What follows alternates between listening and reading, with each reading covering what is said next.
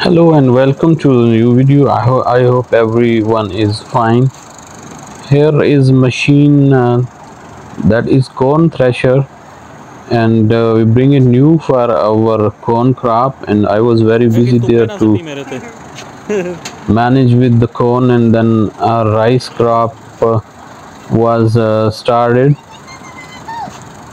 So here i want to show you this is a new machine. We bring it for our corn and uh, here we will check it how it works because that is brand new and uh, this is first time.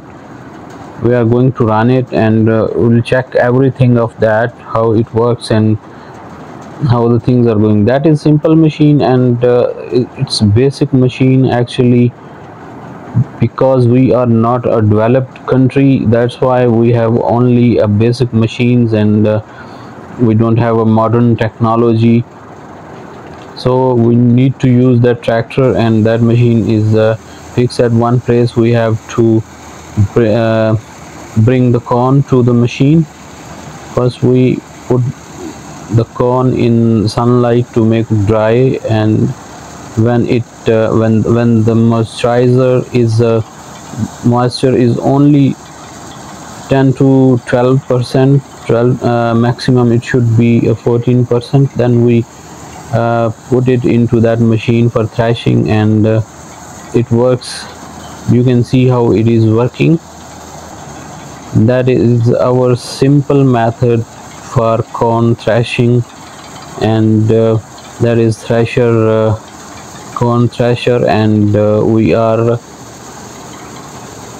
thrashing the corn here. How simple it is you can see that it is taking it inside and tractor is uh, running that with a little bit of power. It's removing the hay and everything making it separate putting it into that uh, big trailer we need to be careful when uh, that machine is running. If you lose concentration so you can get damaged physically. Here is a big trolley. We are uh, putting that uh, through that uh, boom. That is a pipe taking the corn into the tractor. That is a simple but uh, fair enough method for us to take our corn to the market. We are used to and uh, we don't feel problem when using that machine. Maybe in the modern uh, countries uh, they they have uh, definitely they have other modern machines that uh, running machines are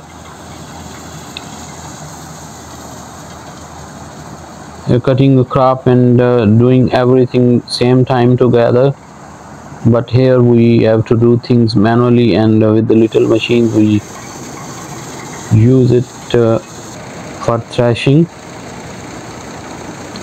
so many people are working there together. That's why the machine is uh, finishing work quickly and uh, only